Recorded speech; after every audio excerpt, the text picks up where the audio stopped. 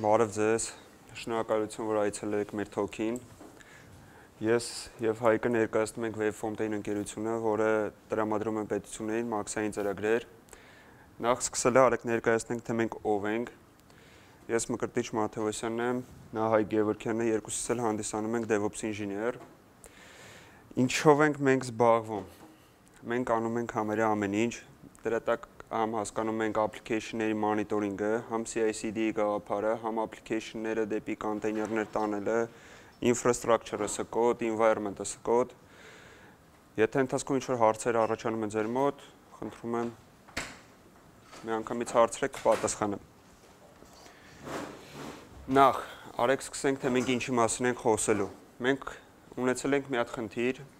խնդիրը եղել է, որ մենք ունեցել ենք 3 տարբեր տեսակի environment-ներ, որոնք գտնվել են Google Cloud-ում եւ ամեն մեկը ունեցել է 15 եւ ավել սերվիսներ։ Եվ ինչ որ մի ձև պետք էր նենց անեինք, որ կարգավորենք այդ ամեն ինչը եւ կարողանայինք վերածել նենց մի հատ ընդհանուր վիճակի, որտեղ արդեն ցանկացած փոփոխություն մեր համար ավելի հեշտ լիներ։ Մենք ինչ արեցինք, գտանք լուծում, լուծումը գտանք, որ մենք եղած բոլոր Google Cloud-ի կոմանդաները, սկրիպտերը տեղափոխենք դեպի Terraform-ի մոդուլյար ձևը գրելու։ Եվ ինչպես իմպլեմենտացիա արեցինք, արեցինք Terraform-ի, GitLab-ի ու մեկ է GCP-ի միջոցով։ Ահա Նախ արեք հասկանանք infrastructure as a code։ Ինքը ինչի համար է եւ ինչի համար է մեզ պետք։ Նախ infrastructure as a code-ը կարելի է բացատրել այս ձևով, որ ինքը սիստեմայի համար նախատեսված այնպիսի կոդ է, որ սիստեման կարողանա հասկանալ։ Դասական եղանակում ոնց է լինում։ Երբ որ օրինակի համար ինչ որ մի հատ request էր գալի, որ օրինակ վիրտուալ մեքենա պետք է ավելանա, ինչ որ սերվիս պետք է ավելացնել, սիստեմի ինժեները ինքը ձեռքով էր այդ ամեն ինչը անում։ Հիմի դե պատկերացնենք այն վիճակը անցած ժամանակներում ոնց էր ընդհանրապես վիրտուալ մեքենան կամ ինչ որ սերվիս կառուցելու համար ինքը մի ամսից մինչև մի տարի կյանք ուներ, այսինքն ինքը երկարակյաց էր։ Հիմի բայց նորագույն տեխնոլոգիաների շնորհիվ այդ ամեն ինչը վերածվում է մի օրից մինչև մի շաբաթի գաղափարը։ Ինչի համար է մեզ պետք, որպեսզի ցանկացած ժամանակ մենք բոլոր փոփոխությունները կարողանանք կոդի տեսքով անել եւ նա շատ հարմար է նաեւ աուդիտի համար, թե ով է փոփոխություն արել, ինչ վիճակում է գտնվում, եւ նմանատիպ խնդիրներից զերծ մնալու համար այս ամեն ինչը կիրառելը շատ հեշտ է դառնում։ Ահա, ինչի համար ենք մենք ընտրել Google Cloud, որովհետեւ գնային առումով նա մեր տրված սերվիսների համար շատ ավելի մաչելի էր, քան թե մնացած cloud պլատֆորմաները։ Բացի դրանից մեր customer-ի պահանջներից ելնելով նաև Google Cloud-ը շատ ավելի հարմար է, որովհետև այդ ռեգիոնում Google Cloud-ը հենց անմիջապես data center-ներ ուներ։ Մյուսը, որ վիրտուալ մեքենաների լայվ միգրացիաներ կարող էր ունենալ։ Այլ կերպ ասած, եղած VM-ը առանց stop տալու հնարավոր էր իրան միգրացիա անել։ Եվ ամենակարևոր հատկանիշը, որ Kubernetes-ը որպես սերվիս, քանի որ դա Google-ի product-ն է, շատ արագ է development լինում, քան թե մնացած արդեն cloud պլատֆորմաների մեջ։ Ինչի համար ենք ընտրել Terraform-ը, որովհետև Terraform-ը ունի declarative configuration-ի գաղափար։ Declarative նշանակում է, թե մենք ինչ վիճակին ենք իրան ուզում բերենք, այլ կերպ ասած վիճակի գաղափարը կարողանում է լինել։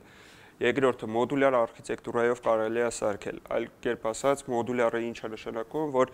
մենք տվյալ սերվիսների համար կարանք մոդուլներ գրենք եւ այդ մոդուլները կարող ենք օգտագործել ցանկացած տեսակի environment-ներում reusable կոդը այլ կերպ ասած որ մի կոդը գրելու դեպքում մենք կարող ենք այն մնացած տեղերը զուտ copy paste անելով իրան ինտեգրել նույն սինտաքսը ունի բոլոր cloud provider-ների համար ընդհանրապես մոդուլը գրում ենք սինտաքսի ձևը ընդհանրապես variable-ներով փոխում ենք եւ նույնը կարող ենք կիրառել եւ Amazon-ում եւ Azure-ում կամ DigitalOcean-ում։ Backup ալտերնատիվա։ Ինչով է դա պայմանավորված, որ ցանկացած ժամանակ, քանի որ մենք կոդը ունենք, environment-ում ինչ որ խնդիր ունեցանք, մենք շատ հեշտ կարող ենք իրան բերել նախորդ վիճակի։ Ահա ամենակարևոր հատկանիշներից մեկը, որ ինքը state-ի գաղափարն է պահում։ State-ի գաղափարը նա է, որ ինքը տվյալ վիճակը պահում է իր մոտ ֆայլերի տեսքով ցույց է տալիս, թե օրինակի համար Postgre-ն պետքա run եղած լինի, ինչ վիճակում պետքա լինի, դատաբազաներ պետքա ունենա, թե պետքա չունենա։ Եվ մի այլ գաղափար է կա, որ easy deploy եւ easy destroy։ Ցանկացած ժամանակ մենք կարող ենք նոր environment-ը բարձրացնել եւ ինչ որ տեստինգներ կազմակերպել եւ ելի արագ իրան ոչնչացնել։ Ինչի համար ենք ընտրել GitLab-ը, որովհետև GitLab-ը ինքը իր մեջ ունի CI/CD բացի մորցը բառը։ GitHub-ը ինչ էր։ Ահա, version control-ից բացի ինքը նաև ունի CI/CD իր մեջ building container registry, այլ կերպ ասած, դուք հնարավորություն ունեք կոնտեյներները, այլ իմիջները միանգամից իր մեջ պահել։ Շատ սիրում pipeline dashboard-ներ է տալիս, ցանկացած task-երը դուք հնարավորություն ունեք հետևեք ինքը որտեղ անցել, որի վրա է fail եղել։ Build fork using container and docker ի՞նչ է նշանակում, որ օրինակի համար եթե դուք Java-ով կոդ եք գրում կամ Python-ով կոդ եք գրում, ոնց է օրինակի համար Jenkins եւ մնացածում։ Պարտադիր չի որ դուք ունենաք ինչ որ մի հատ մեծ image, որի մեջ բոլոր այդ application-ները կլինեն, այլ դուք կարող եք մենակ Java-ի կոնտեյները օգտագործել ձեր կոդը compile անել եւ որպես artifact ստանալ։ Նաեւ նա ճանաչվել է cloud native-ի կողմից որպես հավաստի application։ Scheduling trigger of pipeline. Ցանկացած ժամանակ օրինակի համար ձեզ պետքա որ ամեն գիշեր նորից deploy լինի ձեր application-ները, հնարավոր է trigger-ներ կազմակերպել բացի դրանից trigger-ների միջոցով դուք շատ հեշտ հնարավորություն ունեք ցանկացած commit-ի ժամանակ ինքը ավտոմատ գնա build լինի։ Minimal CI/CD configuration ինչ է նշանակում, որ YAML-ի տեսքով հնարավորություն ունենք բոլոր task-երը գրենք, ինքը արդեն ավտոմատ մեր մոտ կհայտնվի եւ ինչ գործողություններ մենք ուզենանք կարողանանք անել։ Իմիջելոց այդ ամեն ինչը արդեն հայկը դեմոյի ժամանակ ձեզ ցույց կտա։ Եվ own hosted option ունի։ Այլ կերպ ասած, պարտադիր չի դուք օգտվեք իր public gitlab.com-ից, այլ հնարավորություն ունեք իր ինքը քանի որ open source-ը, հնարավորություն ունեք տեղադրել ձեր on-premise վիճակում։ Հիմի արեք ընդհանրապես կոնտեքստի մասին խոսանք, թե մենք ինչ ենք այսօր ներկայացնելու։ Ռեպոզիտորիան է լինելու, որտեղ հայտարարելու ենք մոդուլները եւ environment-ները։ Մոդուլների տեսքում օրինակի համար մենք օգտագործելու ենք Cloud SQL, Kubernetes Engine, Compute Engine, Cloud Storage, իսկ environment-ներն էլ 3 տեսակի environment ենք ներկայացնելու. development environment, user access testing environment եւ production environment։ Ոնց է լինելու։ Մենք կոդը push ենք անելու GitLab, GitLab-ից արդեն փոխանցելու ենք GitLab-ի CI/CD-ին, որտեղ արդեն pipeline-ները ստեղծելու ենք։ Դրանից հետո, երբ որ մենք pipeline-ը run տանք, ինքը Terraform-ի image-ը օգտագործելով միանգամից provision անելու այն սերվիսները, որոնք մենք հայտարարել ենք կոդի մեջ, արդեն Google Cloud-ի պլատֆորմայում։ Դե հիմա խոսքս փոխանցեմ Հայկին, Հայկը արդեն դեմոյի միջոցով այդ ամեն ինչը ցույց կտա, ինչի մասին ես խոսել եմ։ Մերսի։ Բարև ձեզ։ Ես Հայկն եմ։ DevOps ինժեներ web front-end-ում։ Մկրտիչը արդեն պատմեց այն ինչը որ implement ենք անում, արել ու շարունակում ենք անել։ Ես հիմա փորձեմ այդ ամեն ինչը ցույց տալ live repo-ի վրա։ Այս repo-ն հասանելի կլինի public տարբերակով, եթե ինչ-որ մեկ ուզում է օգտվել, վերջում լինքերը կտրամադրենք Եթե ինչ որ մեկ ուզում է օգտվի ու սրա հիման վրա ստեղծի իր environment-ը ընթացքում ինչ որ բաներ փոփոխելով, շատ հեշտ դա կարող լինի որպես բազա այդ ամեն ինչի համար այդ սկզբնական մասը անցնելու խուսափելու այդ երկար process-ից։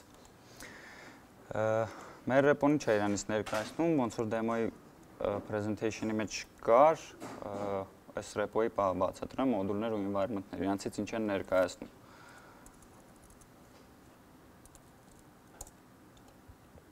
ամեն մի մոդուլը տվյալ պարագայում մենք որպես այդպեսին բաշխել ենք Google Cloud-ի սերվիսների անուններով։ Մի մոդուլը bucket-ը, որը bucket-ներ սարքելու համար է, մի մոդուլը Kubernetes-ի cluster սարքելու համար է, instance-ներ բարձրացնելու, Kubernetes-ի provisioning կազմակերպելու, սերվիսներ, ու ամեն ինչ, այսինքն Kubernetes-ի համար կոնկրետ բոլոր հնարավորային deployment-ներ կլինի, state stateful state կլինի, ցանկացած սերվիս ցանկացած ռեսուրս հնարավոր է Terraform-ով provision անել ու նաև խուսափել, չգիտեմ, հավելյալ ինչ որ tool-եր օգտագործելու Helm-ով կամ ձեր գրած սկրիպտերով այդ ամեն ինչը հավելյալ provision անել ու հավելյալ կոդ գրելու։ MySQL-ի Postgres-ի instance-ներ, VPC, subnet, private ու public Սրանք են հիմնական մոդուլները, բայց այս մոդուլները իրականում կարան լինեն շատ շատ բազմազան ու մոդուլները նախ Terraform-ի official մոդուլ repository ունեն, library ունեն, այնտեղ պատրաստի մոդուլներ կան շատ, բայց եթե custom ինչ-որ բան է պետք, դրանք կարաք ինքներդ գրեք ու իրենց ինչ-որ բարդություն չի պահանջում, որովհետև եթե օգտագործում եք public ինչ-որ մոդուլ, այնտեղ շատ կոնֆիգներ կան, որոնք ուղղակի մեզ պետք չեն,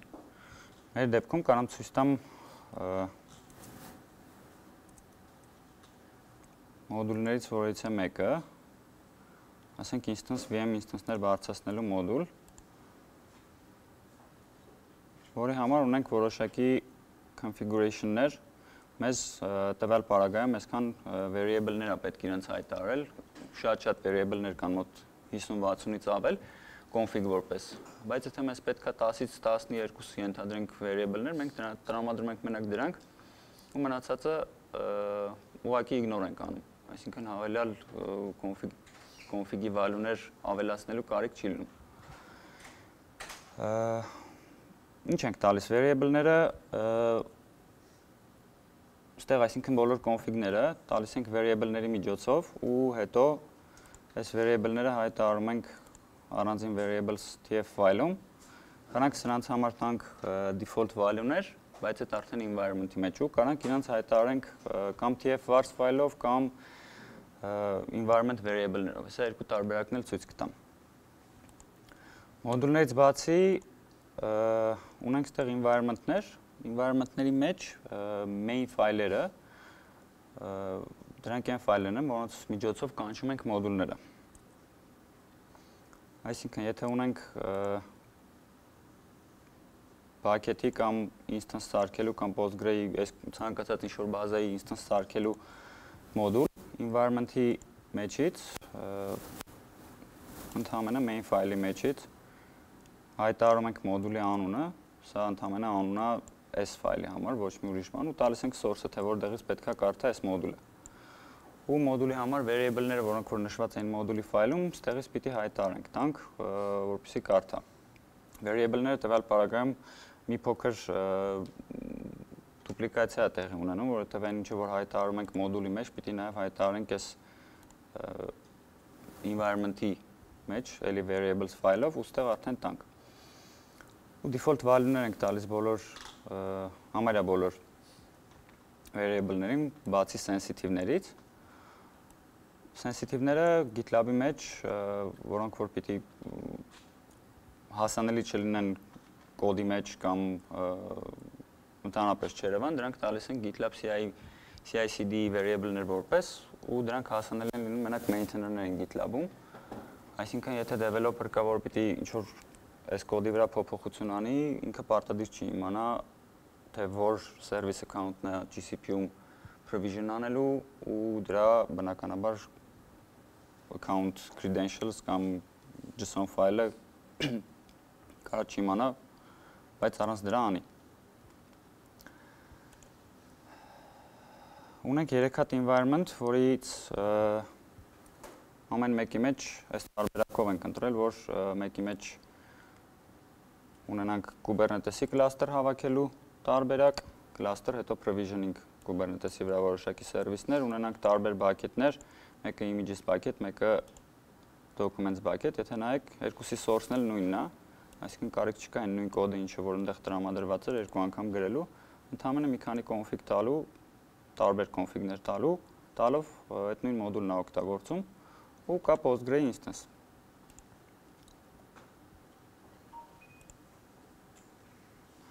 Prod environment-ում network ենք սարքում VPC, subnet ենք սարքում։ Subnet-ը իր մեջ ներառում է երկու subnet, մեկը public, մեկը private։ Հնարավոր է դրանք էլ իհարկե առանձնացնել, բայց այս բaragայում գործում է այդ custom մոդուլի գաղափարը, որ մեզ պետք է sense-ն սարքել եւ custom եւ private եւ public, դրա համար ներառել ենք մի մոդուլի մեջ bucket ու էլի instance MySQL-ի էս անգամ ու UAT environment կա, որի մեջ VM-ի instance-ները սարքվում bucket-ը սարքվում ու էլի Postgre instance state-ի մասին մկրտիչ չասեց, հիմա ես մի քիչ ավելի մանրամասն ասեմ, ինչ է իրանից ներկայացնում state ֆայլերը ու ինչ առավելություն ունի state ֆայլը պահել cloud-ում ամեն environment-ի համար ստեղ ունենք state ֆայլեր, որը ցանկացած գործողություն կատարելուց այդ Terraform Terraform-ի կոդի հետ ցանկացած գործողություն կատարելուց հետո ինքը state ֆայլը update անում Այսինքն, եթե ինչ որ մեկը ինչ որ մի բան provision արեց, update եղավ, ինքը state-ը փոխում է, հաջորդ անգամ եթե ինչ որ կոդի մեջ բանը ավելացվում ու նորից պիտի provision գնա, բնականաբար առաջին հերթին կարդում է state ֆայլը, հասկանում է G-Cloud-ում այս պահին ինչ state-ում է, ինչեր կան սարքած քո կոդի մեջից ու ինչերն են բացակայում ու սարքում է մենակ այն ինչը որ ավելացված, այն ինչը որ այնտեղ չկա state file-ի առավելությունը նաև այն է, որ եթե provisioning-ա գնում կոնկրետ այս state file-ով, այսինքն այս state file-ը կարդացել է կոդը ու provisioning-ա գնում, ինքը lock-ը անում այս state file-ը ու հնարավորություն չի տալիս նորից նույն state-ը միաժամանակ օգտագործել։ Այսինքն եթե ինչ-որ մեկը տվյալ պարագայում, տվյալ պահին provision անում G-Cloud-ի վրա, այս նույն repo-ն օգտագործելով, որը որ այս նույն state-ը կարդալու է, ուրիշ ոչ մեկ այդ բանը չի կարա provision անի, այսինքն ինչ որ error-ներ կամ human mistake-ները բացառվում է այս պարագայում։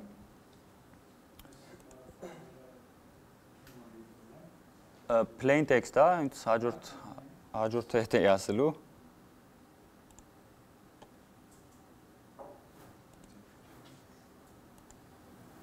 Որ Mozilla-ն բացեր, այս լավ կներ։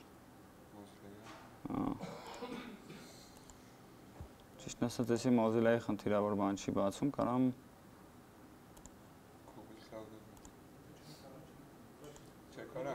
Просто Mozilla-ի բաղը որ sense չի բացում, էլի։ Չէ, բարձ ասեմ, ինքը plain text-ով բաղում է, դա state file-երի խնդիրն է։ Version control-ի control-ի մեջ հնարավոր է պահել ու այդտեղ խնդիրը առաջանում հենց այդ իր plain text լինելը, այսինքն եթե ինչ-որ sensitive information կա այնտեղ գրած, լինի password username, ինքը plain text-ով պահելու է ու control-ում պահելը բնականաբար ճիշտ չի։ Դրան որպես լուծում կա երկու տարբերակ, կամ encrypt անել ֆայլը ու էլի պահել version control-ում, Դրա համար մի քանի տարբեր tool-եր կան, վերջում դրանք էլ կտրամադրենք։ Մենք օգտագործել ենք bucket-ի տարբերակը, բայց հնարավոր է encrypt անել ու էլի version control-ում պահել։ TerraHelp-ա կոչվում մեկը ու հենց նախատեսված է դրա համար։ Երկրորդ տարբերակը bucket-ում պահել, քանի որ bucket-ը ինքը իրանով encrypt է լինում by default։ Հնարավոր է այդ encryption-ը անգամ մենք manage անենք, այլ ոչ թե թողենք Google-ին Բայց ամեն դեպքում էս էլ իր ինչ խնդիրը ունի, որ եթե ինչ-որ մեկը սրան access ունի Google Cloud-ի account-ին, միևնույնն է ստենալու է հենց որ ավելի ճիշտ տարբերակա պահել իրան encrypt տարած SCM-ում կամ անգամ encrypt տարած էլի ստեղ։ Հիմա մի փոքր ցույց տամ ոնց է տեղի ունենում GitLab CI-ի սարքելը, չգիտեմ, եթե Jenkins-ին ծանոթ եք, Jenkins ֆայլեր օգտագործել եք, տեղյակ կլինեք, որ հնարավոր է Jenkins-ի pipeline-ները կամ job-երը սարքել Jenkins ֆայլով, այլ ոչ թե UI-ով, նույնն էլ էստեղ է։ YAML ֆայլերով է սարքում, get GitLab CI ֆայլը ավտոմատ կարդում է որպես pipeline-ի ֆայլ։ Ստեղ ինչ ենք անում, երկու stage ենք հայտարարում, provision ու destroy ու ամեն stage-ի համար 3 հատ տարբեր job ենք սարքում ամենի environment-ի համար, այսինքն provision dev environment, prod environment and UAT environment ու նույնը destroy-ի համար GitLab CI-ը ընդհանրապես ոնց է աշխատում։ Եթե Jenkins-ի համար ունենք node-եր, որոնց վրա որ մեր job-երը run են լինում, GitLab-ի դեպքում, կոնկրետ GitLab.com-ի դեպքում օգտագործում է իրանց public runner-ները, որոնք իրանցից իրականում Docker-ը image-ների վրա ռանելնող կոնտեյներներ են ու գործում է Docker-ին Docker գաղափարը, այսինքն Docker-ի վրա ռանեղած Docker կոնտեյները մեջ, որ իրանից ներկայացնում է մի հատ GitLab runner, մենք կանչում ենք Terraform-ի image-ը, որ Terraform-ի իմիջի հիման վրա սարքվի կոնտեյներ ու մեր կոմանդները, ստեղ որ կա Terraform init, Terraform apply, աշխատեն աշխատացնի այդ իմիջը, այլ քան թե ամեն անգամ Terraform ինստալանենք այդ runner-ի վրա։ Ու բացի այդ runner-ները ցանկացած job անելուց հետո GitLab.com-ի մասին է խոսքը, ցանկացած job run-ելնելուց հետո իրանք ավտոմատ distro են ելնում այստեղ own hosted GitLab-ի տարբերակը բավականին օգնում է, եթե ունենք own hosted դրած ու մեր runner-ներով կարելի է այդ այսինքն runner-ի վրա ունենալ Terraform-ը ու իրան ուղակի destroy չանել ամեն անգամ runner-ի վրա run տալով որոշակի ժամանակային առումով կօգնի, բայց ոչ շատ զգալի։ Ու այս GitLab CI ֆայլը, որ GitLab-ը կարդում է, push ենք անում repo,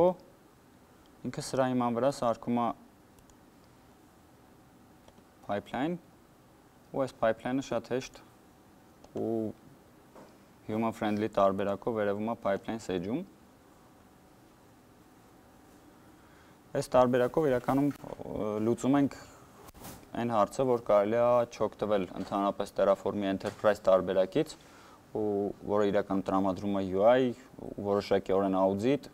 թե ինչ ջոբեր են րանելնում, ինչ ջոբեր են րանեղել, ինչ փուլում է լոգինգ ունի ավել, հավելյալ, բայց այդտեղ շատ հեշտ այդ ամեն ինչը կարանք նաև տենանք կոնսոլ output-ով, որովհետեւ job run տալուց ինքը բոլոր step-երը, որոնք որ նկարագրված են այդ job-ի GitLab CI ֆայլի այդ job-ի հատվածում, այդտեղ հերթականությամբ տեղի ունենի։ Քանի որ տվել էինք Terraform-ի image բնականաբար առաջին download անում pull անում Terraform-ի image-ը ու հետո սկսում եմ մեր step-երը run տալ։ Նախ եւ առաջ Terraform plan-ը անելու, այսինքն ցույցատալուս այն ցույցատալու այն ինչը որ պիտի տեղի ունենա Terraform apply ժամանակ։ Ու այստեղ որ նայենք հերթականության բոլոր մեր job բան environment-ի մեջ main file-ի մեջ հայտարարված բոլոր ռեսուրսները ստեղ տպում է ու անցնում է արդեն provisioning-ին։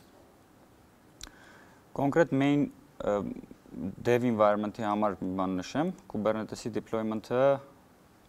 development environment-ում է։ Ու ստեղ ունենք նախ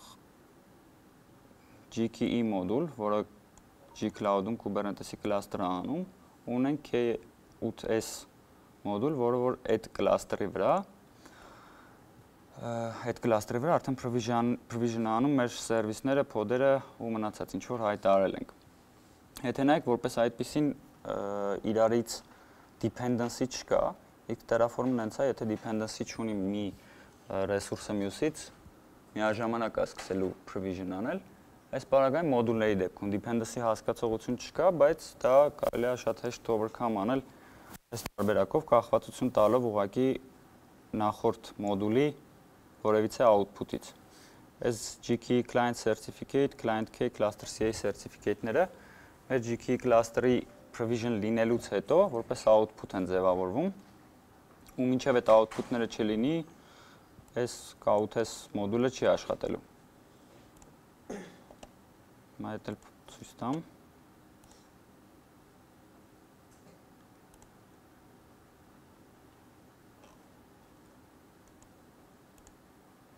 Ինչ այնտեղ provision-ը լինում, ես դες ցույց տամ, որ այնտեղ բակետներ ունենք, որ գրած, այս երկու բակետները արդեն սարքվել են։ Ունենք Postgre instance, որ բարձրացնում ենք ինքը դեռևս բարձրացնելու փուլում է, որովհետև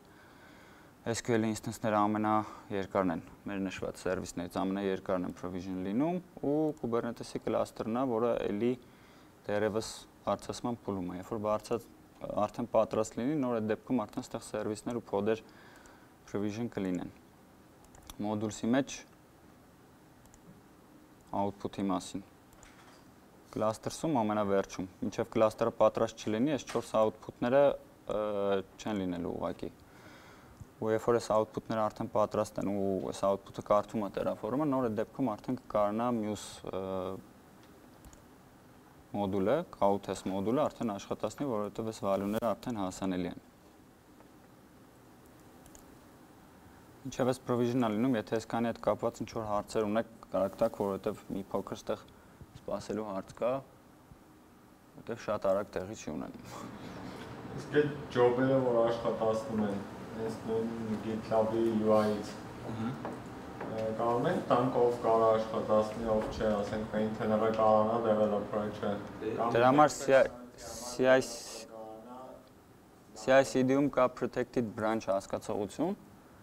ու եթե protected branch-ը նշված, օրինակի համար master-ը, master-ի վրա Ինչի։ Նույն committee ոնց որ logic-ով է, հա։ Եթե protected branch-ը commit չեն կարող, կամ merge են կարող անել։ ու իր վրա run տալել pipeline չի կարողանա նաև developer-ը կամ ավելի ցածր level-ի access ունեցող Հնարավորությունը կա այդ user-ը եւ role-ի գաղափարը, օրինակ համար եթե ենթադրենք developer-ը բայց ինքը access pitch ունենա, հենց որ կարես տաս, որ ինքը ուղղակի կարողանա view անի, բայց run չկարողանա Եթե արդեն access-ների գաղափարով user-ները role-երը, երկրորդ տարբերակն արդեն IT access range-ի գաղափարը։ Իսկ image-ները որ դեյցավ է կալում image-ները Docker Hub-ից public Image-ները ասվածը մի հատ Terraform-ի image է ստեղ օգտագործվում։ Kubernetes-ի սերվիսները փոդերը էլի Docker Hub-ից։ Ինչ image կա Docker Hub-ից, հա, բայց եթե հնարավոր է թե ունենալ G-Cloud-ի GCR-ում, թե ունենալ GitLab-ում on host-ից, եթե ունենաս ձեր container register-ում, թե իրանց public-ում, ամեն ինչը հնարավոր է։ Նայեք, cluster-ը արդեն պատրաստ է մինիմալ ինչ որ մեր կոնֆիգուրացիաներով 3 նոդով կոնկրետ ինչ որ ռեգիոնում Kubernetes-ի վերսիայով իսկն այն կոնֆիգները, որոնք որ տվել ենք. Default node pool-ը այդտեղ բարձ ասեմ, էլի Google Cloud-ի սերվիսները մեկը մյուսին կցել կամ թե որ սերվիսը ինչ անում, այդ մասը cover չենք անում, որովհետև այդտեղ հիմնական մեր ասելիքը Terraform-ին ու այս ամեն ինչը ավտոմատացնելուն է ու քանի որ կլաստերը արդեն պատրաստ է ու output-ները բնականաբար արդեն հասանելի են մյուս մոդուլին, սերվիսներն ու կոդերը արդեն պատրաստ են։ Ինչ է, մեծ շատ սովորական application է այստեղ front-end ու մի Redis-ի կլաստերը հավաքած ու այս IP-ին, որը որ տրամադրվում է միացել։ Իսկ GitLab-ը CI/CD-ով եթե install արվի on-premise server-ը վրա, ինքը դժվար է config անել։ Config? Հա, դե ոնց որ մենակ GitLab-ը չես install անում, չէ, Docker-ը Docker-ն է պետք install անես ու Kubernetes պետք է Kubernetes պարտադիր չի։ Docker on-premise install անելու բացարձակ խնդիր չկա, community edition ունեն ու շատ մեծ community է GitLab-ի community-ն ու շատ responsive են այսինքն թե issue-ներին թե մնացած հարցերին շատ արագ են արձագանքում։ CI/CD-ն out of box աշխատում է out of box։ Ну, install արեցիր GitLab-ը, հա, ինչ որ Docker-ի GitLab-ներն ունեն, չէ՞ իրենք։ GitLab-ը install անելուց հետո պիտի GitLab-ը install անելուց հետո բնականաբար պիտի runner-ներ տալ, այսինքն եթե Jenkins-ի դեպքում նոդեր ենք աշխատացնում master-ը, որ այս նոդերի վրա, այս slave-երի վրա ինչ որ job-եր run տա, նույն նույն սկզբունքն է գործում GitLab-ի համար։ GitLab-ը community edition-ը ենթադրենք install ենք արել ու պիտի մեր GitLab-ի instance-ի համար իրան տրամադրենք runner-ներ runner-ները շատ հեշտ հնարավոր է տալ թե Docker-ի image-ներով, որ ինքը սարքվի, որովհետև public etal ունեն GitLab runner իրանց repo-ում կա։ Կարելի է դրանք օգտագործել, կարելի է custom հավաքել, դրանք register անել մեր GitLab-ում ու դրանից հետո GitLab-ը բնականաբար երբ որ CI/CD-ով որևիցե job ենք run տալիս, արդեն իրան տրամադրված runner-ների վրա է run տալիս բայց այդ ամեն ինչի դեպքում Kubernetes-ն էլ է դառնում, չէ՞, on-premise ու դրա իրենց communication-ները երևի առանձին խնդիր դառնում։ Cloud-ում ամեն ինչը շատ լավ հեշտ աշխատում է, որտեղ երբ կլիկես Չէ, չէ, GitLab-ը տարբեր ենք Kubernetes-ից, որովհետև Kubernetes հնարավոր է նաև register անել GitLab-ում, այդ հնարավորությունն էլ ունի ու այդ տարբերակով ունենալ։ Բայց այդտեղ GitLab-ը ընդհանրապես մեր համար CI/CD tool է ու թե GitLab CI/CD GitLab-ի CI միջոցով այդ Kubernetes-ը որտեղ provision կանենք, on-premise provision կանենք, թե Google Cloud-ում, թե AWS-ում, թե Azure-ում, բացարձակ տարբերություն չկա։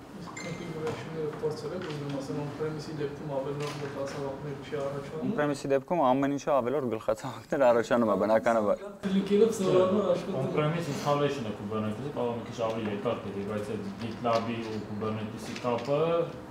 կապացավակ չեն, այսինքն տեղ չի բարդանա այստեղ էլ ինչ բան չկա, ասինքն ինքը եթե դու հետո մամիան API-ներով շփվում են, եթե դու configuration-ը տվեցել authorization file-ը բաները տվեցել, դու գիտի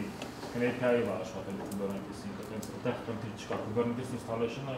okay, տալ on-premises խնդիրներ ունի, այտենց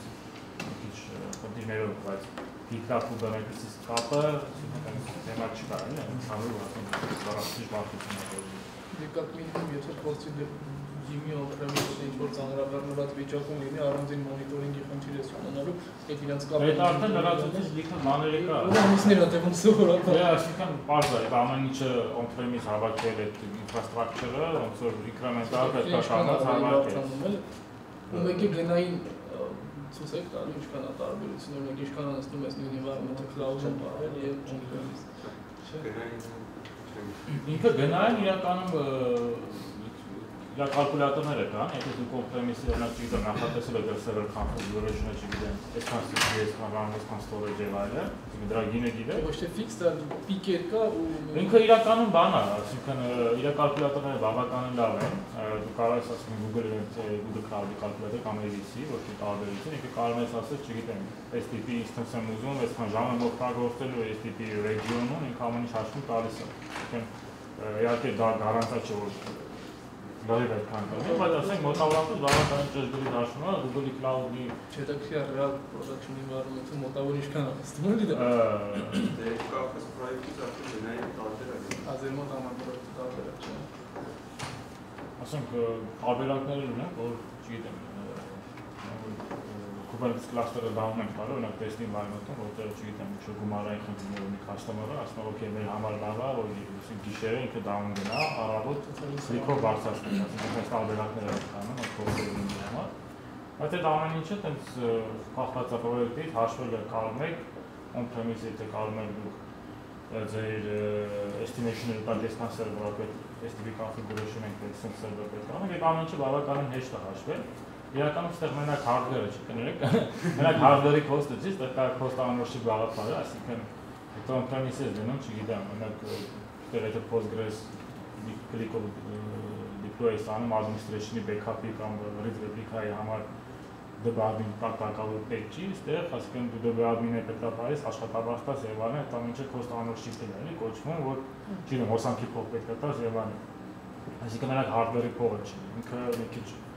հաշվերը տենց հստակ չի, որտեղ ինքը իր, ասենք մարդկային ռեսուրսների, չգիտեմ, տենց տարբեր վիճակներ կա։ Բայց ամեն դեպքում մոտավորապես կարող եք պատկերացնել, ինքը Google Cloud-ը, որ դրա Google Cloud-ի դեպքում եթե տենում ամի ռեսուրսը շատ էլ է օգտագործում, ասма կարող ասեցի downgrade անես ոսկի 8 CPU, 4 CPU, քեզ recommendation-ը տալ, որ ոնց որ over estimate is արել, ասենք կարաս 4-ի, այսինքն մամետրիկների իրար են վրա, քեզ recommendation-ը տալը, որ կարաս downgrade անես այդպես, նույնն էլ հակառակն ասեմ, ոնց որ չէի քանում upgrade արել։ դա մի քիչ ճկունություն տալիս է, ամեն դեպքում այդ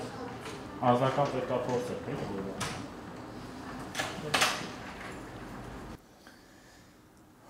Այս application-ը, որը որ run ա եղած Kubernetes-ի վրա cloud-ում ու իրան ամբողջովին տենց Terraform-ով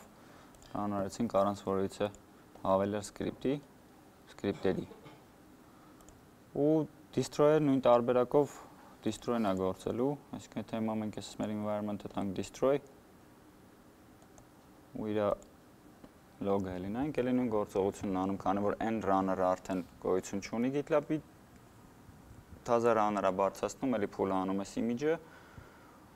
ու ելի նույն գործողությունները, եթե այնտեղ provision-ներ անում, ստեղ destroy անում variable-ների մասով մի փոքր մանրամասնեմ այն ինչը որ տված է GitLab CI-ի մեջ ցանկացած Terraform-ի կոդի մեջ ցանկացած variable իրան հնարավոր է տալ environment variable-ի միջոցով սկզբում ուղղակի ավելացնելով այս tf-var հատվածը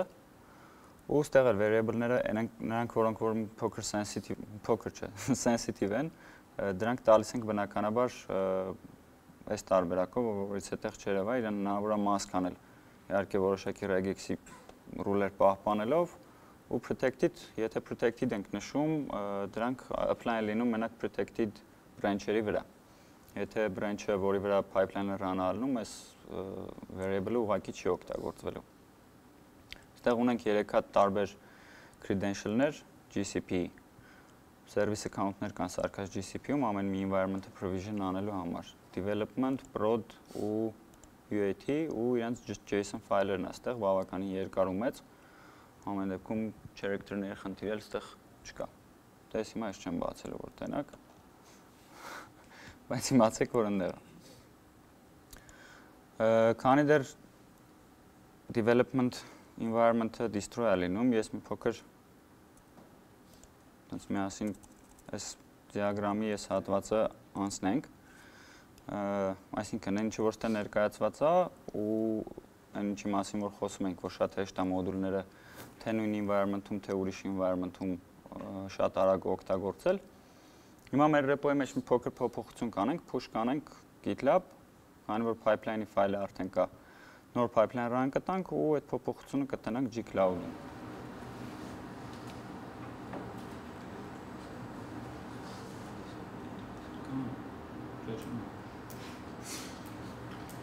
միջև հայկան ստեղ որ ոնց է րանեն նշեցին, այդ դեկլարատիվի տարբերությունը, օրինակ անսիբլը իմպերատիվ է, ասենք դու ասում ես ինչ քայլեր անես, իսկ տեղափոխումը դեկլարատիվ է, տղաները ասեցին, ոնց որ դու ասում ես այս state-ն եմ ուզում։ Այսինքն ասում ես, չգիտեմ, օրինակ ուզում եմ 5 հատ մեքենա այս կոնֆիգուրացիոնի կամ չգիտեմ, ուզում այս մեքենիկ չես ասում ոնց անեմ, դու ուղղակի նկարում ես այս state-ի եմ ուզում հասնել, ոնց որ դեկլարատիվ իմաստը է, որ ունեմ Kubernetes-ի configuration-ը ոնց դեկլարատիվ, չես նկարագրում քայլերը, ասում ես state-ը եմ ուզում։ Բայց state-ը հիմա 3 հա 2 սայթ, որ ասում ենք state-ներ պահում են դեպքում Google Cloud-ում, ասես state-ն է պահում, որ ինքը հաստատում է, որ հիմա ունեմ 3 instance, ասես մի հատ էլ եմ instance ուզում, ասում օքեյ, հիմա ունեմ 3, մի հատ էլ պետք է բարձրացնեմ, հա, ուզում եմ որ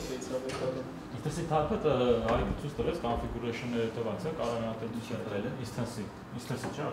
հա։ Google Cloud instance-ը չէ, Հաշվին cloud չի, on-premise է, ես իրեն instance եմ տալում, ինչ եմ անում, մեքենայից դրա docker-ա բարձրացնում, ֆիզիկապես մեքենա է դառնում, ինչ instance-ա բարձրացնում եմ։ Տվյալ դեպքում ինքը եթե Google Cloud-ի մասին ենք խոսում, on-premise. instance-ները Դրա համար եմ ասում, էլի cloud-ում շատ ուրիշ ձև է շատ approach-ը։ Եթե Kubernetes-ի մասին է, թե Terraform-ի մասին։ Kubernetes как раз է սա pipeline-ը on-premise ունենալ, էլի այս երեք կոմպոնենտը ամեն մեկը on-premise։ Kubernetes-ը, եթե դու օրինակ on-premise-ից դնում ես, եւ հայկը ավելի ճիշտ կասի, տղաները դրել են on-premise Kubernetes վերջերս են վերջացրել, այսինքն դու ավելի ճիշտ կբարձրացնես, էլի, ոնց որ Նայեք, այստեղ Terraform-ի դեպքում provider-ների հասկացողություն կա provider-ները Terraform-ը տարբեր են, եթե մի քիչ ուսումնասիրեք, կնայեք, կտեսնեք։ Provider-ը իրեն տալիս են կամ cloud provider ու provider-ներից մեկն էլ հանդիսանում է Kubernetes-ը։ Քո on-premise-ի վրա instance բարձրացնելու տարբերակը այստեղ ընդհանրապես չի քննարկվում, որովհետև անգամ Terraform-ը տվյալ պարագայում այնքան էլ մի քիչ հարմար չի, եթե անգամ ունի այդ հնարավորությունը, ես չգիտեմ, որովհետև չեմ օգտագործել on-premise-ի վրա instance բարձրացնելու խոսքը եթե վերաբերում է Kubernetes-ին, առանձին կա Kubernetes provider։ Այսինքն այդ Kubernetes provider-ը գտնվում է on-premise սերվերների վրա, թե cloud-ի վրա, թե որտեղ, կապ չունի ընդհանրապես։ Դու իրան ուղակի տալիս ես credential-ներ, թե ոնց պիտի այդ Kubernetes-ի cluster-ին քո access ունենա Terraform-ը, ու ինքը provision անում քո սերվիսները։ Այսինքն YAML-ի ֆայլերը տեղափոխած Terraform-ի syntax-ի, ինքը այդ նույն գործողությունն անում է, եթե ունի access Տարբերությունը Kubernetes-ի դեպքում եթե credential-ներ ենք տալիս, certificate ենք տալի, cloud-ի դեպքում account-ի տվյալներ ենք տալի, account.json ֆայլ ենք տալիս, որով պիտի access ունենա համապատասխան ռոլերով։ Այսինքն Kubernetes-ը Kubernetes-ի deployment-ը այս параգայում ինքը օգտագործվում է որպես provider։ Որտեղ? Environment-ի մեջ docker image բարձրացնելու հասկացողությունը ես մի քիչ ճիշտ չեմ չեմ պատկերացնում։ Որից է service։ Որից է pod։ Pod։ Pod ենք ուզում բրանտանք։ Okay okay, կոնտեյների ռոկեր դնենք կամ եսի միջով այդ կոնտեյների իմպլեմենտացված, որքանով ես եմ տեղեկացված, այդ pod-ի տակից պետք է մեկը ինչ-որ կոնտեյների image ռանալ։ Բնականաբար։ Ու սա Kubernetes-ի իմաստն է, որ load balance-անի։ Kubernetes-ը ոնց դնում եք, ասինքն դուք իրան տալիս եք օրինակ ունես, չգիտեմ, 6 հատ նոդ կամ 7 հատ նոդ, ասինքն ունես 7 հատ սերվեր, ինչ-որ X configuration կա, Kubernetes-ը դնում ես, ինքը 7 հատ նոդի մասին տեղյակ է իր ռեսուրսների մասին տեղյակ է եւ այլն։ Հետո որ փոդեր ուզում ես create անես, ինքը արդեն այդ orchestration-ը սկսում անել, սրա վրա տեղ ունեմ, սրա վրա տեղ չունեմ, կամ policy-ն ես գրի եւ այլն։ Այսինքն ինքը նոր նոդ չի բարձրացնում։ Դե Kubernetes-ի մասին է խոսքը։ Ինքը եղած նոդերի վրա ինչ կա։ Ну, եթե դա on-premise-ը Եթե դա on-premise Կարծում եմ cloud-ում կարող է ինքը տակից Cloud-ում դու կարող ես, ասենք, նոդերներ ապրել scale-անես։ Այսինքն horizontal scaling կարող ես անես։ Եթե on-premise-ի մասին է, դա էլ, ասենք, ինչ modification կունի, բայց ասենք by default ինքը տալիս է այսքան server-ում է, Kubernetes-ը այսքան server-ից տեղյակ կա, ու իր կոդերը սկսում է դրա վրա orchestration-ը սկսել անել, ասենք, ու ոնց որ ռեսուրսների մաքսիմալ utilization-ը ապահովում որ զուտ այդ մասն, այս Terraform-ի Kubernetes-ը կա ինչ որ հայ հայկը բացատրել, ասենք դու պրոստը ասում ես Terraform-ը Kubernetes-ն է, ոնց որ deploy-ը Իսկ ոնց է Docker-ի միջ բարձրացնում, սովորական ժամանակ ոնց է Docker-ի միջ բարձրացնում։ YAML ֆայլ ունես, որտեղ տալիս ես pod-ի տվյալները, configuration, image ես տալիս։ Բնակ ընդհանրապես image-ը, image-ի pod-ը բարձրացնում է, instance-ը Google Cloud-ում է instance-ի գաղափարը Kubernetes-ի է, այսինքն compute instance-ը ինքը վիրտուալ մեքենաներ է։ Այսինքն իսկ եթե Kubernetes-ի սկոպով ենք խոսում, իրանք կոչվում են դա node, ու այսինքն նոդը կարող ես նաև ավտոսկեյլինգ մոդ դնես, եթե նոդը հերիք չանա, նոր նոդ հարցացնես։ Իսկ EC2-ի նման, այսինքն որ ասում են Google Cloud-ի instance, Compute instance, դա EC2-ն է, process resource-ն է, ոնց Kubernetes-ը դա առանձնապես կարճում է։ Իհարկե Kubernetes-ը ինքնանով ռանարանում այսինքն այդ instance-ների վրա, բայց ասենք որ առանձին instance-ի մասին ասում ենք, հիմնականում դա Kubernetes-ի դուրս է այն։ Լավ, այս UAT-ի environment-ում ունենք instance-ներ բարձրացնելու մոդուլ, այսինքն ունենք մի հատ մոդուլ, որը որ instance-ներ է բարձրացնում ու UAT environment-ում ունենք այս կանչում ենք այս մոդուլը ու բարձրացնում ենք երկու հատ instance ինչ որ configuration-ներով։ Հիմա որ այդ նույնը ուզում ենք ունենանք prod environment-ում, շատ արագ փորձեմ ցույց տամ, ընդհանրապես պետք է այս config-ը կանչել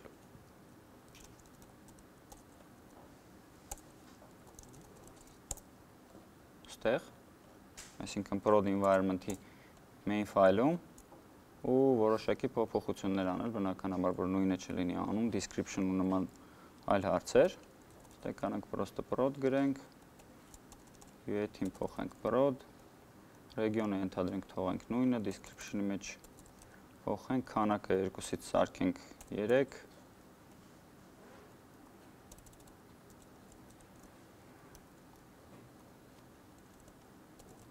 image-ը թողենք նույնը, մեկ էլ ասենք boot disk-ի չափը մեծացնենք 20-ից 30, այս save անենք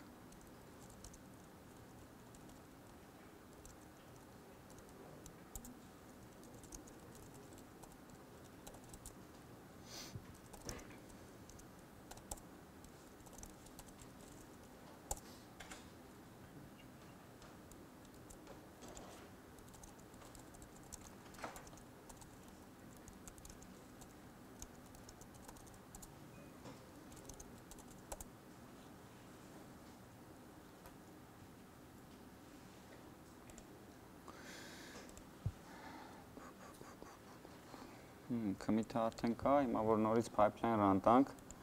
արդեն այս փոփոխություններով կլինի ու prod environment-ը որ run տանք, ընդհանրապես մի րոպեվա ընթացքում կարելի ասել ավելացրեցինք։ Հա, ուստեղ pipeline run տալուց մեր CI/CD-ի համար variable-ները, որոնք որ նշանակել ենք, հնարավոր է override անել, եթե ինչ-որ կոնկրետ variable կա, որ կոնկրետ այս pipeline-ը run տալուց պետքա փոփոխել, կանանք run տալուց մենակ այս pipeline-ի համար run տանք։ Ու եթե հիմա prod-ը run տանք ու VM-ները ստուգենք մեր environment-ում մի փոքր հետո կարանք տենանք, որ այդ VM-ները շատ արագ սարքվեցին, այսինքն օգտագործեցինք նույն գրած մոդուլը, այլ ոչ թե հատ առանձին ռեսուրս սարքեցինք prod-ի համար, ընդհանրապես մի քանի config փոխելով ու այս մոդուլներից հնարավոր է ունենալ շատ-շատ, անգամ ինստանս սարքելու մոդուլ հնարավոր է ունենալ ոչ թե մի հատ, այլ մի քանի հատ։ Ենթադրենք ունենք ինչ որ կոնկրետ application-ի ինստանս բարձրացնելու մոդուլ ու նաև նմանատիպ այլ ուրիշ։ Դեռ եթե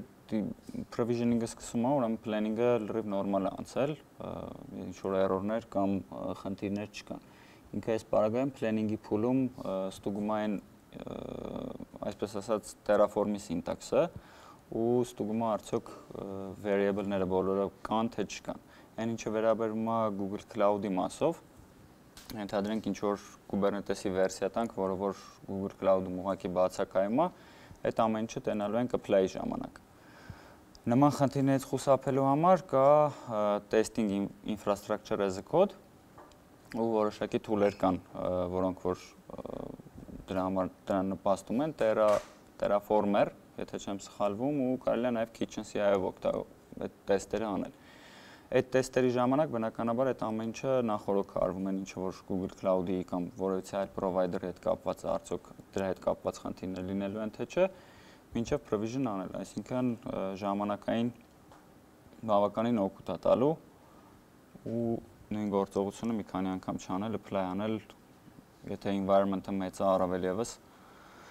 չսպասել այդքան չգիտեմ վերջի պահին հասնի, վերջում ինչ որ error ունենա, ու այդ նույն նորից destroy անել, նորից provision անել։ Դե որ նայենք մեր այս 3 ինստանսները արդեն պատրաստ են, SQL-ը բնականաբար մի փոքր ավելի ուշ պատրաստ կլինի, այդտեղ VPC network ունենք prod-ի համար, որը դեռ չի սարքվել, բայց ընթացքում է ու MySQL instance։ Իմ մասով կարծում եմ վերջ, եթե ինչ որ հարցեր ունեք, ես սրա հետ կապված այս հարցերին պատասխանենք դեմոյի ու մկրտիչը շարունակի մնացածը։ Հարցեր չկան։ Հա։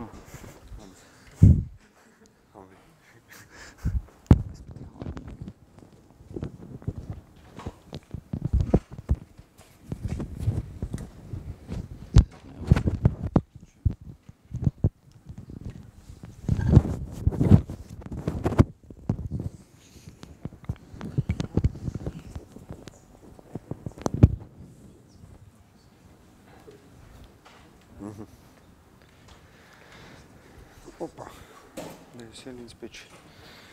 Լավ, արեք շարունակենք։ Հիմա մենք ինչի մասին խոսացինք, իհարկե պետքա ներկայացնենք նաև իր դրական բացասական կողմերը։ Դրական կողմերից մեկը նա է, որ ոնց որ ինչև այդ ասացինք, սինտաքսը բոլոր cloud provider-ների համար նույնն է։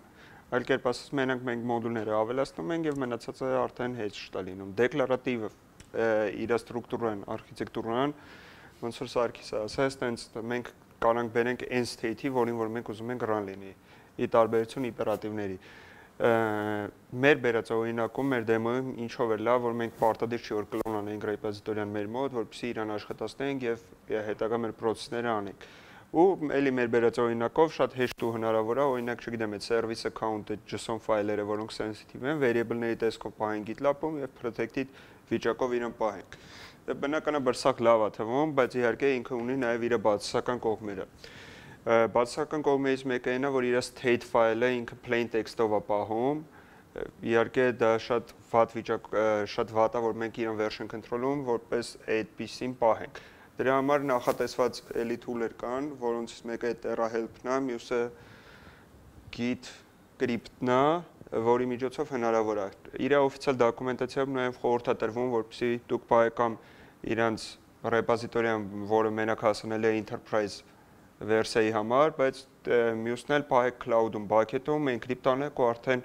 IAM-ով եւ user role-երով այդ ամեն ինչը կազմակերպեք, որ access ունենան մենակ այն մարդիկ, որ կարող են դիտել դա։ Մեկ էլ, եթե օրինակի համար դուք փոքր environment ունեք, այդ փոքր environment-ների համար այդ այդ ամեն ինչը convert անել Terraform-ի շատ գլխացավանք առաջացնում եւ շատ երկար ժամանակ է պետք, որպեսզի այդ ամեն ինչը սովորեք։ Դա իհարկե իր վատ կողմերը ունի, եթե պատկերացրեք դուք մի հատ environment ունեք, որ չգիտեմ, տարին 1 անգամ է փոխվում, դա իմաստ չունի Terraform-ի վերածելը ու ավելի մեծ environment-ների դեպքում, երբ որ դուք ունեք պատկերացրեք մի 20 եւ ավել եւ ամեն մեկը մի 100 variable-ից կախված environment հա, դա իհարկե շատ գլխացավանք է, որպեսզի այդ ամեն ինչը maintain անելը։ Դրա համար կարող օգտագործեք օրինակ, չգիտեմ, console կամ նմանատիպ configuration management tool-եր, որպեսզի այդ process-ը գոնե մի քիչ ավելի հեշտացնեն։ Հիմի ընդհանուր ինչ եզրակացության եկան, քան ոնց որ նախորդ սլայդում ասացի, եթե large environment-ներ չունեք, իմաստ չունի Terraform-ի անցնելը։ Եվ փոքր environment-ների համար այդ Terraform-ի անցումը շատ ավելի գլխացավանք է պետք, որպեսզի այդ ամեն ինչը սովորեք եւ համակերպեք։ Եվ մեր վերած օրինակում մենք օգտագործել ենք GitLab-ը, բայց ցանկացած CI/CD tool-ով, թե ինքը կլինի Jenkins, TeamCity եւ մնացածը շատ հեշտ ու հանգիստ հնարավոր է այս ամեն ինչը ստանալ։ Եվ Terraform-ի առավելություններից մեկն էլ նա է կայանում, որ շատ հնա, հեշտ հնարավոր է ստեղծել, provision անել եւ այդ destroy անել այդ բոլոր environment-ները։ Եթե օրինակի համար դուք ինչ-որ մի հատ testing environment եք ուզում ինչ-որ փոքր փոփոխություններով, ընդհանրապես մի երկու variable փոխելով դուք հնարավորություն ունեք այդ նույն environment-ը կլոն անել, սարքել եւ ձեր տեստը անցկացնելուց հետո արագ destroy անել։ So any questions? Ուրիշ հարցեր ունեք։